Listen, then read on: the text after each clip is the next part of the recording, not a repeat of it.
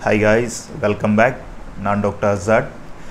Facebook இன்பாக்ஸ்லையும் பர்சனலாகவும் நிறைய பேர் நிறைய சந்தேகங்களை கேட்டிருந்தீங்க. அதில் முக்கியமாக கேள்விப்பட்டிருந்த கேள்வி வந்து எல்லாரும் இந்த ஹேர்ட் இம்யூனிட்டி ஹேர்ட் இம்யூனிட்டி என்று கதைக்காங்களே. ஹேர்ட் இம்யூனிட்டி சமூகத்தில் டெவலப் ஆனால் தான் இந்த கோவிட் நைன்டீன் குறையும். வேக்சின் மூலமாக ஹேர்ட் இம்யூனிட்டியை டெவலப் பண்ணிலும் இந்த ஹேர்ட் இம்யூனிட்டி தான் கொள்ளை நோய்கள்லேருந்து சமூகத்தை பாதுகாக்குதுன்னு சொல்லி. ஸோ இந்த ஹேர்ட் இம்யூனிட்டி என்ன? என்று தான் நிறைய கேள்விகள் வந்திருந்துச்சு. ஸோ நாம் இந்த வீடியோவில் பார்க்க போகிறது ஹேர்ட் இம்யூனிட்டி என்றால் என்ன இந்த ஹேர்ட் இம்யூனிட்டி எப்படி உருவாகுது இந்த ஹேர்ட் இம்யூனிட்டியை வேக்சின் மூலம் எப்படி உருவாக்குறாங்க இந்த ஹேர்ட் இம்யூனிட்டி சமூகத்தை ஒரு வைரஸ் தொற்றுலேருந்து எப்படி பாதுகாக்குங்கிறது தான். ஸோ வீடியோக்குள்ளே போகலாம். லெட்ஸ் டாக்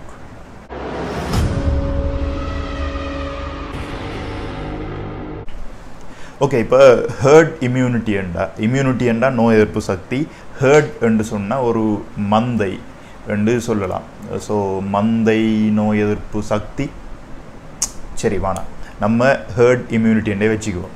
ஸோ ஹேர்ட் இம்யூனிட்டின்னா ஒரு சமூகத்தில் ஒரு கொள்ளை நோய் பரவும் போது ஒரு குறிப்பிட்ட அளவான ஆக்களுக்கு அது தொத்துனத்துக்கு பிறகு அவங்களில் அந்த கொள்ளை நோய்க்குரிய வைரஸுக்கு எதிரான நோய் எதிர்ப்பு சக்தி உருவாகும். ஸோ அவங்க ஒரு குறிப்பிட்ட எண்ணிக்கையில் தொத்தி முடிஞ்சதுக்கு பிறகு அந்த வைரஸ் பரவுற அளவு ஆட்டோமேட்டிக்காக குறையும். ஏனென்றால் தொத்து நாளுக்கு திரும்ப அந்த வைரஸ் பரவாது. தொத்தாத ஆளுக்கு தான் பரவணும்.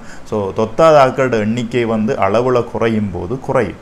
ஸோ இது எப்படி குறையுதுங்கிறத நான் நம்ம பார்க்க போகிறோம் இதுக்கு ஆரம்பத்தில் இந்த ஆர் நோட் என்றா என்னென்னு உங்களுக்கு தெரியணும். இந்த ஆர் நோட்டுக்கும் ஹேர்ட் இம்யூனிட்டிக்கும் என்ன சம்பந்தம்? ஆர் நோட்டுன்னு சொன்னால் உங்களுக்கு தெரியும் ஒரு நபர் வந்து சராசரியாக எத்தனை பேருக்கு நோயை தொத்த வைக்கலாம் என்பதற்குரிய ஒரு நம்பர் இந்த ஆர் நோட்டின் அடிப்படையில் தான் ஒரு நோய் வந்து கொஞ்சம் பரவுமா இல்லாட்டி ஒரு குறிப்பிட்ட பிரதேசத்துக்கு மட்டும் பரவுமா அல்லது நாடு முழுக்க பரவலாமா உலகம் முழுவதும் பரவலாமா என்பதை கால்குலேட் பண்ணி பார்ப்பாங்க. இதை பற்றி நம்ம ஏற்கனவே டீட்டெயிலாக பார்த்துருக்கோம். ஸோ அந்த வீடியோவை பார்க்காதாக்கள் லிங்க்கை நான் கீழே டிஸ்கிரிப்ஷனில் தரேன். அதில் போய் அந்த வீடியோவை பார்த்துக்கொள்ளலாம். இப்போ ஒரு சமூகத்துக்குள்ளே ஒரு கொள்ளை நோய் வருகுதுண்டு வைப்போம் அந்த கொள்ளை நோய் ஆரம்பத்தில் ஒரு நபர் தொத்தி கொண்டு வருவார். அவர்கிட்ட இருந்து இந்த ஆர் நோட்டுற அடிப்படையில் சராசரியாக இத்தனை பேருக்குண்டு அந்த கொள்ளை நோய் பரவும். இப்படி பரவுறது அவங்ககிட்ட இருந்து ஒவ்வொரு அமௌண்ட்டாக கூடி கூடி கொண்டு போகும். இதான் வந்து நோமல்லாக இப்போ இந்த கொரோனா வைரஸ் சுச்சுவேஷன்லையும் இலங்கையில் நடக்கிறது. இப்படி ஒரு வைரஸ் தொற்றுக்குள்ளான ஆட்களுக்கு அந்த வைரஸ் தொற்று முடிஞ்சதுக்கு பிறகு அதற்குரிய எதிர்ப்பு சக்தி அவர்களோட உடம்புல உருவாகும். இதுவே ஹேர்ட் இம்யூனிட்டி என்று சொல்லப்படும். ஸோ இவ்வாறு அவங்களுக்கு நோய் எதிர்ப்பு சக்தி உருவானதுக்கு பிறகு இந்த ஆர் நோட் வந்து மற்ற ஆக்களுக்கு பரவ இயலாதபடியால் ஹேர்ட் இம்யூனிட்டி இல்லாத ஆக்களுக்கு மட்டும் பரவும். எனவே நோமலாக இருக்கிற ஆர் நோட் வந்து புதிதாக குறைக்கப்பட்டு ஒன்றாக மாறும். எனவே சமூகத்தில் இந்த கொள்ளை நோயாக பரவுவது மிக குறிப்பிட்ட நபர்களுக்கே பரவி கடைசியாக பரவல் ஒரு கட்டத்தில் நிறுத்தப்படும். ஸோ நம்ம இப்போ பார்த்தோம் இந்த ஆர் நோட்டை எப்படி ஒன்றுக்கு கொண்டு வரது அதாவது ஒரு நபருக்குள்ள இருந்து இன்னொரு நபருக்கூடாக மட்டும் பரவுற மாதிரிக்கு எப்படி கொண்டு வரலாம் ஸோ அப்போ தான் வந்து நம்ம இந்த கொள்ளை நோய்களை நிப்பாட்ட முடியும். ஸோ அது எப்படி என்று தான் பார்க்க போகிறோம் அதுக்கு ஒரு ஈக்குவேஷன் ஒரு சமன்பாடு ஒன்று இருக்குது ஸோ உதாரணமாக நாம் ஒரு சமூகத்தில் எட்டு பேர் இருக்காங்கன்னு எடுப்போம். ஸோ இதில் ஆர் நோட்டை நாம் உண்டாக்குவதற்கு அடுத்த ஏழு பேருக்கு ஹேர்ட் இம்யூனிட்டியை உருவாக்கணும். ஒன்று வேக்சின் போட்டு உருவாக்கணும் அல்லது அவர்களுக்கு நோய் தொற்று வந்து அதன் மூலம் உருவாகணும். உருவானால் இந்த ஆர் நோட்டை நாம் ஏழின் கீழ் எட்டு அதில் நூறின் வீதமாக நாம் கல்குலேட் பண்ணலாம். இதுவே ஹேர்ட் இம்யூனிட்டிக்குரிய சமன்பாடு. நாம் சிம்பிளாக ஆர் நோட்டிலிருந்து ஒண்டை கழித்து அதை ஆர் நோட்டால் பிரிப்பதன் மூலம் எடுத்துக்கொள்ளலாம். ஸோ இந்த வாய்ப்பாடை பாவிச்சு ஆர் நோட் எத்தனையாக இருந்தாலும் இதில் நூறு வீதத்தை போட்டு நாம் கல்குலேட் பண்ணி பார்க்கும்போது சமூகத்தில் எத்தனை வீதமான ஆட்களுக்கு இந்த ஹேர்ட் இம்யூனிட்டி உருவாகணும் இந்த கொள்ளை நோய் அடங்குவதற்கு என நாம் கல்குலேட் பண்ணலாம். இப்போ இந்த ஹேர்ட் இம்யூனிட்டி நாம் ரெண்டு வகையில் உருவாக்கலாம். ஒன்று வந்து இந்த நோய் வந்து சமூகத்துக்குள்ள பரவுற ஆக்களுக்கு அந்த நோய் பரவி முடிஞ்சோன்னா அந்த நோய் கிருமிக்குரிய நோய் எதிர்ப்பு சக்தி அவங்களோட உடம்புல உருவாக்கப்படும். இது முதலாவது வகை. ரெண்டாவது வகை இந்த நோய் கிருமிக்குரிய தடுப்பூசியை வேக்சினை கண்டுபிடிப்பதன் மூலம் அந்த கிருமியை நோய் பரவாமல் அதன் வீரியத்தை குறைத்து உயிரோடோ அல்லது அந்த கிருமியின் ஒரு பகுதியை மட்டுமோ நாம் உடம்புக்குள்ளே செலுத்தலாம். செலுத்தி உடம்பை அந்த நோய் எதிர்ப்பு சக்தியை உருவாக்க வைக்கலாம். ஸோ இந்த மெத்தட் தான் வந்து வேக்சின் இப்போ ஹேர்ட் இம்யூனிட்டி உருவாவதற்கு நோய் கிருமியூடாக உருவாகலாம். அது பிரச்சனை இல்லை. ஆனால் வந்து அந்த நோயால் ஏற்படக்கூடிய மற்ற மற்ற விளைவுகளும் அந்த பேஷண்ட்டுகளுக்கு அதிகமாக இருக்கும். அதே டைமில் அந்த கிருமியையோ கிருமியின் இறந்த பகுதியையோ வலுக்குறைக்கப்பட்ட பகுதியோ நீங்கள் உடம்புக்குள்ளே அனுப்பும்போது நோய்க்குரிய பாதிப்புகள் உங்களுக்கு ஏற்படாது.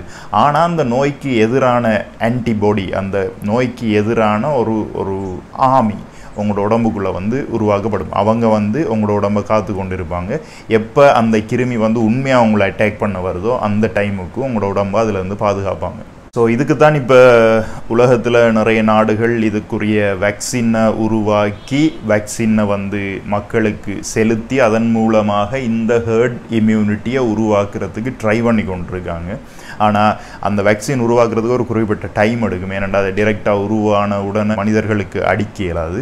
ஆரம்பத்தில் இது சரியான வேக்சின் இதால் சைடு எஃபெக்ட்கள் இருக்காண்டு ஆரம்பத்தில் மிருகங்களுக்கு செக் பண்ணி பார்ப்பாங்க. அதுக்கப்புறம் வாலண்டியராக வர நோயாளிகளுக்கு செக் பண்ணி பார்ப்பாங்க. அதுக்கு பிறகு இவ்வாறு பல படிகளை தாண்டித்தான் மனிதர்களில் அதை ட்ரை பண்ண முடியும். இந்த டைமில் உங்களுக்கு ஒரு டவுட் வரலாம். நாம் ஏன் வேக்சின் வரைக்கும் வெயிட் பண்ணணும்? ஏன் இந்த லாக்டவுன் சிஸ்டம் செய்யணும்? இப்போ இந்த லாக்டவுனை தளர்த்தி மக்களை வெளியே விட்டால் மக்களுக்கு நோய் தொற்று வரும். நோய் தொற்று வந்து முடிய ஹேர்ட் இம்யூனிட்டி உருவாகும். ஹேர்ட் இம்யூனிட்டி உருவான வந்து அதுக்குள்ளால் மறுபடியும் நோய் பரவாது. ஸோ அதை நாம் ஏற்படுத்தலாம். என்ற ஒரு டவுட் வரலாம். அந்த டவுட் தான் நிறைய நாடுகளுக்கு இந்த கொரோனா வைரஸின் ஆரம்ப கட்டத்தில் ஏற்பட்டது. இப்போ தான் வந்து நிறைய மறைக்கப்பட்ட தகவல்கள் வெளியில் வருது. இந்த கொரோனா வைரஸ் வந்து ஐரோப்பிய நாடுகளில் பரவ ஆரம்பித்ததுக்கு பிறகு ஆரம்பத்தில் இங்கிலாந்து போன்ற நாடுகள் யோசித்தாங்க ஏனெண்டா ஆரம்ப தரவுகளின் அடிப்படையில் இதில் பாதிக்கப்பட்ட பேஷண்ட்டுகளோட எண்ணிக்கையும் இறப்பு வீதமும் குறைய இருந்துச்சு. அதோட இதில் ஆர் நோட்டையும் தவறாக எடுகோல் பண்ணி வச்சுருந்தாங்க. ஸோ அந்த டைமில் யோசித்தாங்க இதை சமூகத்துக்குள்ள ஒரு அளவாக பரவ விடுவதன் மூலம் நாம் மக்களுக்கு ஹேர்ட் இம்யூனிட்டியை உருவாக்கலாமண்டு. ஆனால் அதன் பிறகு அதன் பூதாகரத்தன்மையும் அதனால் ஏற்பட்ட இறப்பு வீதங்களையும் பார்க்கும்போது அதற்கு பிறகுதான் அந்த நோயின் வீரியம் தென்பட்டது. ஸோ நீங்கள் நினைக்கிற மாதிரியே இப்போ நாம் லாக்டவுனை தளர்த்துறோம். மக்களை எல்லாம் ஒன்றாக கலக்க விடுறோம் என்று சொன்னால் இந்த ஹேர்ட் இம்யூனிட்டியை நாம் டக்குன்னு ஏற்படுத்தலாம். ஆனால் அதற்கு நாம் கொடுக்குற விலை வந்து மிக அதிகம். ஏனென்றால் இந்த நோயிட உண்மையான பாதிப்பு உயிரிழப்புகள் மிக அதிக அளவில் ஏற்படும். இதை இந்த கிராஃபில் நீங்கள் பார்க்கலாம். இந்த கிராஃபில் ஆரம்பத்தில் நீங்கள் ஒன்றும் செய்யாமல் விட்டீங்கன்னு சொன்னால் நோய் வந்து டக்குன்னு செட்டில் ஆகும். ஆனால் அந்த நோயால் பாதிக்கப்பட்டவர்கள் நம்பர் வந்து மிக அதிகமாக இருக்கும். ஸோ அந்த நம்பருக்குரிய அளவுக்கு ட்ரீட்மெண்ட் கொடுக்கறது ஹாஸ்பிட்டல்லையும் ஃபெசிலிட்டிஸ் வந்து போதாமல் போகும். ஸோ சாதாரணமாக இந்த நோயால் இறப்பவர்களை தவிர இந்த ஹெல்த் கேர் கெப்பாசிட்டியை தாண்டி இந்த அளவு போவதனால் இறப்பவர்களின் எண்ணிக்கையும் கூடி பெரிய ஒரு பேரழிவு ஏற்படும். ஆகவேதான் நாம் இந்த லாக்டவுனை ப்ராக்டிஸ் பண்ணி இந்த நோய் ஒரு கிரஜுவலாக பரவுனாலும் அந்த பரவுன ஆட்களுக்கு இந்த ஹேர்ட் இம்யூனிட்டி உருவாகும். மற்றவர்கள் வேக்சின் கண்டுபிடித்த பிறகு அந்த ஹேர்ட் இம்யூனிட்டியை உருவாக்க முடியும். ஆனால் நீங்கள் இந்த ஈக்குவேஷன் படி ஆரம்பத்தில் விஞ்ஞானிகள் இந்த கோவிட் நைன்டீன் ஆர் நோட் வந்து ரெண்டு தசம் ஐந்து அளவில் இருக்கும்னு தான் சொன்னாங்க. ஆனால் இப்போ சொல்கிறாங்க இலங்கையிலையும் அவதானிக்கப்பட்டதுலையும் அதே மாதிரி தான் தெரிஞ்சது. இதில் ஆர்னோட் வந்து ஐந்து தசம் நாளாக இருக்கும்னு சொல்லி. ஸோ அஞ்சு தசம் நாலுன்னா நீங்கள் அந்த ஈக்குவேஷனில் போட்டு பார்க்கலாம். சராசரியாக எண்பத்தி மூன்று விதமான சனத்தொகைக்கு வந்து இந்த நோய் வந்தால் தான் இந்த ஹேர்ட் இம்யூனிட்டியை நாம் சமூகத்தில் ஒரு நாட்டில் உருவாக்க முடியும். எண்பத்தி மூணு வீதம் என்று சொல்லும்போது கிட்டத்தட்ட தொண்ணூறு வீதம். ஸோ அவர்களுக்குள்ள என்னென்ன பாதிப்புகள் ஏற்படும் என்று எமக்கு தெரியாது. அதில் உயிரிழப்புகள் எந்த அளவுக்கு வரும் என்று தெரியாது. எண்பத்தி மூன்று விதமான ஆக்களையும் பராமரிக்க எமக்கு வைத்தியசாலை வசதிகள் வந்து நிச்சயம் போதாமல் இருக்கும். ஸோ அவ்வாறு உருவாக்குவது சாத்தியமில்லாத ஒன்று. ஸோ இந்த டைமில் நீங்கள் சமூக வலைத்தளங்களில் பார்த்துருப்பீங்க. சில ஆய்வாளர்கள் சொல்கிறாங்க இதற்குரிய ஹேர்ட் இம்யூனிட்டி உருவாக்குறது கஷ்டம் வேக்சின் உருவாக்குறது கஷ்டம் இன்னும் சாஸ் வைரஸுக்கும் மேர்ஸ் வைரஸுக்குமே உருவாகலை. ஸோ அந்த குடும்பத்தில் இருந்து வந்த இந்த வைரஸுக்கு உருவாக்குவது கஷ்டம் என்று சொல்லி. ஸோ இதில் உள்ள நடைமுறை சிக்கல்கள் என்ன? இந்த வேக்சின் போடுறதால பக்க விளைவுகள் ஏற்படுமா? வேக்சினே போடக்கூடாது என்ற ஒரு குரூப் சொல்லி கொண்டிருக்காங்களே அதோட உண்மைத்தன்மை என்ன? இதையெல்லாம் நாம் வேறொரு வீடியோவில் பார்ப்போம். ஸோ உங்கள் எல்லாரையும் அடுத்த வீடியோவில் சந்திக்கிறேன். பாய் guys